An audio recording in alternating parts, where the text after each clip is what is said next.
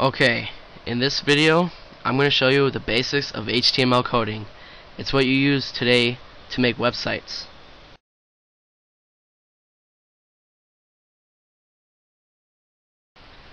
Okay, right now, I bet you're thinking, what does HTML stand for?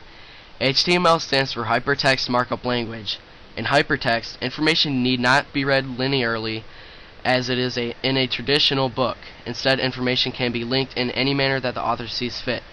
HTML is a document type definition known as DTD for Standard Generalized Markup Language, known as SGML. First, in order to start your HTML, you open up a text document by right-clicking New and opening up Notepad. Right now, we're going to do something that you always start out with, which is HTML, and I'm just going to add a background color, and you put in parentheses the color, or you can put its definition like FFCC00 would be yellow. Now, H1 stands for heading 1, and I'm just going to type hello and and welcome to my tutorial.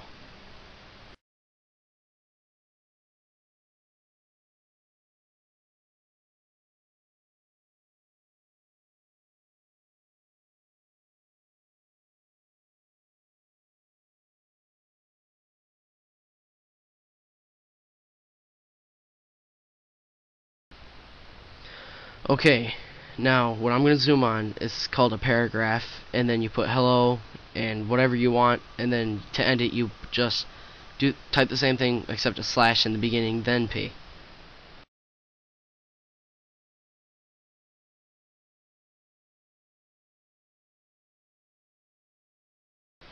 Okay, now I am going to show you how to put a video on your website. It's called embedment, and you can easily find it on youtube.com. Now I'm going to go to Household Hacker since the, my video is all about that.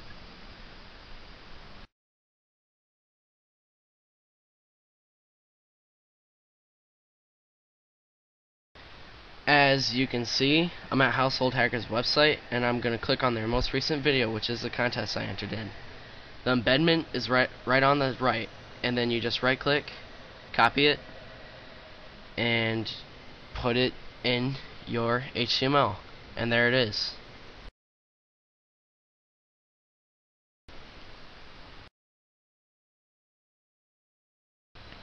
Okay, now since I put it in, I'm going to save it. And you need to save it, whatever it is, dot .html.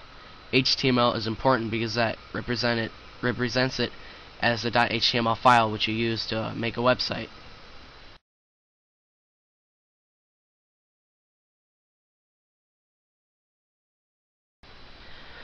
Okay, now let's see my short amount of work that I did and I saved it and one of my videos are done uploading not this one.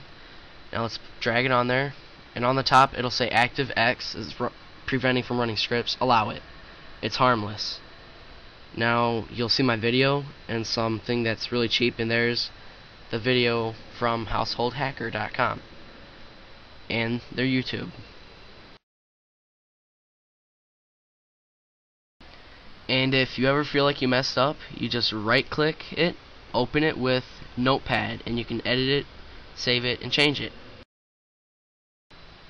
Okay, right now, instead of adding a background color, I'm going to add a background picture to the website.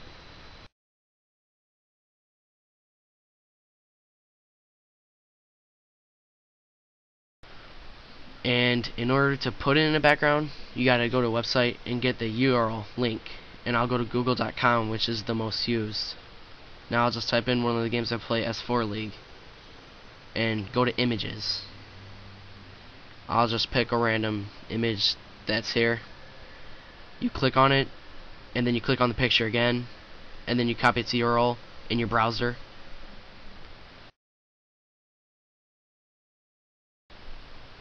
And then you just paste it in there. And then put parentheses at the end.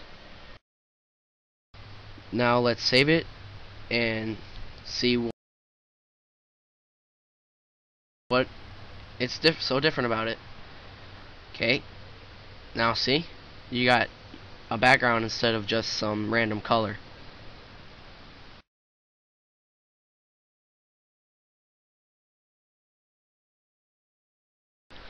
Okay, so have you ever wondered and wanted to ever see what other websites source looks like? What their HTML codes are and their JavaScripts? JavaScripting is a little bit more harder, harder, but I'll show you right now.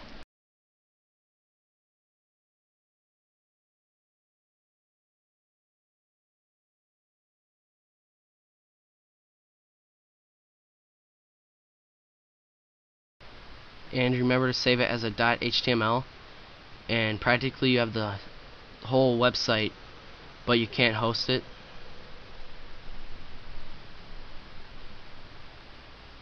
See?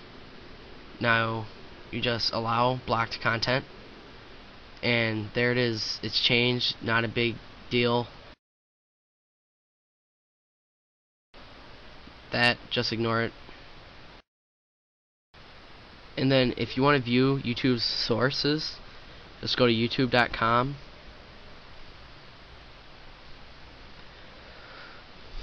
as you can see everything's perfectly normal. Right click and go to view source which is located at the top. And you have the whole website right there in front of you and you can edit it change it make it look different but it won't affect anyone else, just you. It's kind of stupid. I don't get it, but it might come in handy someday.